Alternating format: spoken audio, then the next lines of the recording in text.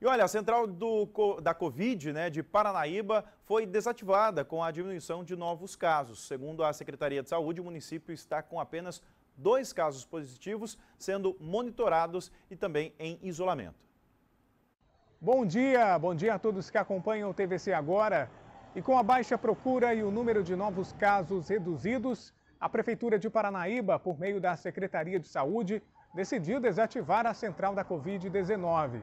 De acordo com a Secretaria Municipal de Saúde, o município está com apenas dois casos positivos sendo monitorados e em isolamento. Os 18 servidores que estavam em atendimento na central foram realocados para as unidades de saúde, sendo 10 efetivos e 8 pessoas contratadas. Os atendimentos de casos suspeitos serão feitos nas unidades de saúde. Para isso, basta o cidadão entrar em contato pelos telefones de suas unidades de saúde e fazer o agendamento da consulta. Foi criado também, segundo a Secretaria Municipal de Saúde, um fluxograma de atendimento da Covid-19.